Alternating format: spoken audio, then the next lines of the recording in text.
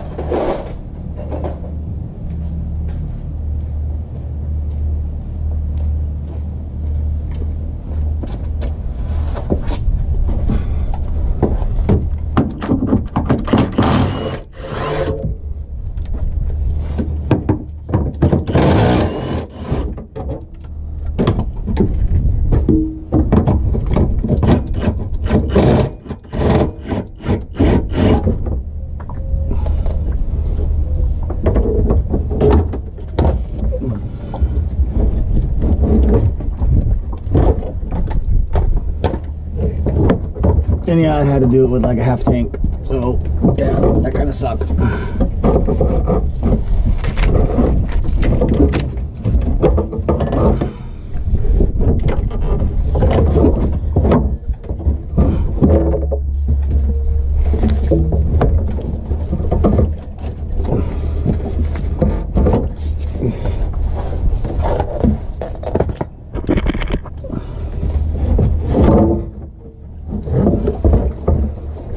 Wasn't so bad.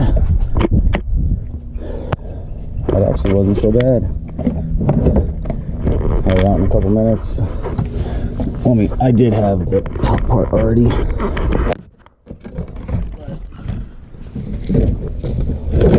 Let's see here. All right, and I'll show you guys why I'm having this issue.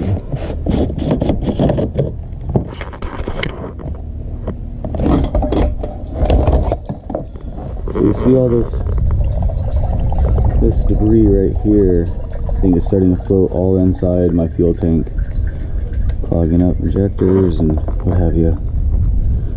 So I'm probably gonna trash this whole tank and uh, go with the fuel cell. We'll see. We'll see how bad it is in there.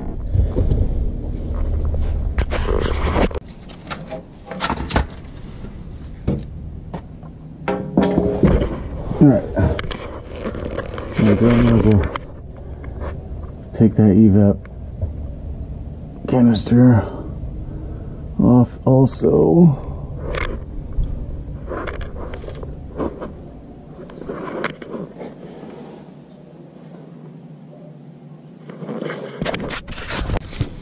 Alright, we got a care package today. If you have been following, I decided to redo the fuel system on the car because I think it's contaminated. Um, it's gotta be. But anyways, I'm gonna put a fuel cell in it. And I got this one off of uh, Jegs. And I, it's actually a Jegs branded fuel cell. What we got in here. Some styrofoam. I mean, it looks pretty nice.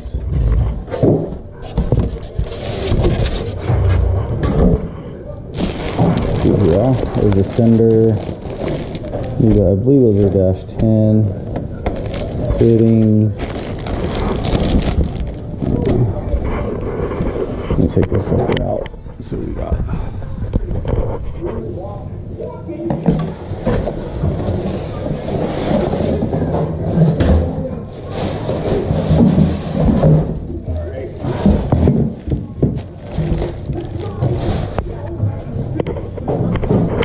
Alright. That looks pretty cool.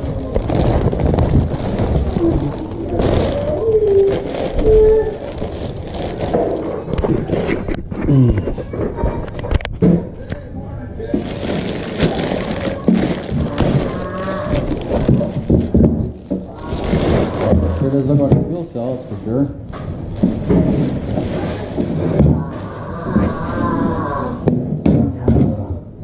The back side, that's where the sump's at. That's nice.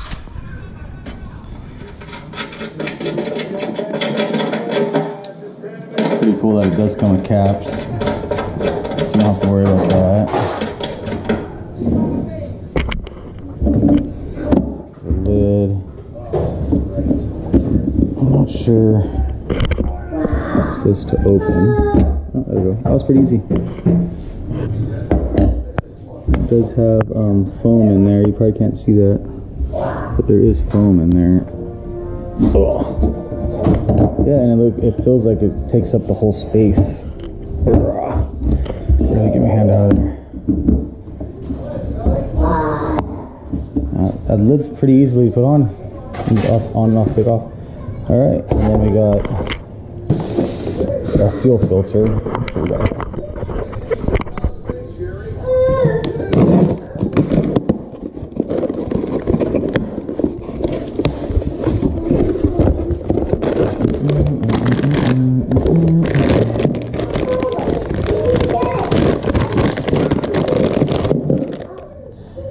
Uh, just a Jegs, uh, one of the post fuel filters. So I'll have another one after this, after after the pump. So that's it. So that goes on the front. Still waiting for the fuel pump, which the fuel pump's on a two-week back order. So we'll have fun installing this fuel uh, cell in the meantime.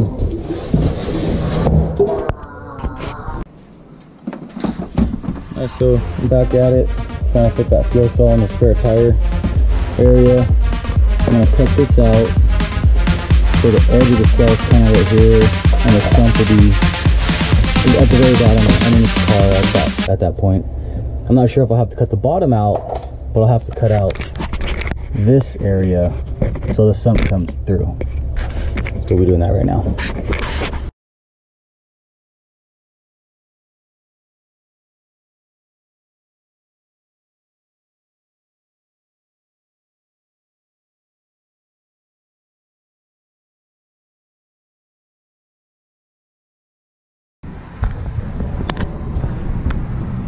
All right, so we got it all cut out. Kind of rough cut, but that's kind of what. Yeah, cut through my wires. Yeah. Way to go. Um, yeah, I got that. Then we're gonna see how the cell fits without cutting anymore.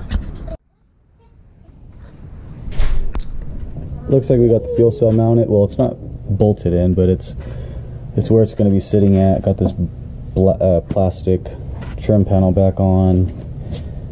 Wait, you look. Yeah, it's almost there. And then we got, oh, sorry for all the RC stuff, but that's what we do. Got both um, lines ran. Those, so that's a, a dash 10 lines ran. Oh, show you where they're running to over here. Oh, they are both ran. Um, to to here.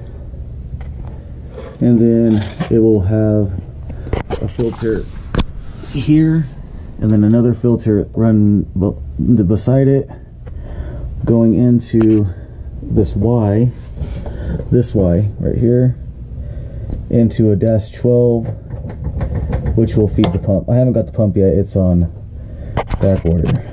So we'll finish the video up. Uh, part two of the video will be maybe the pump install hooking it up electronically and stuff like that.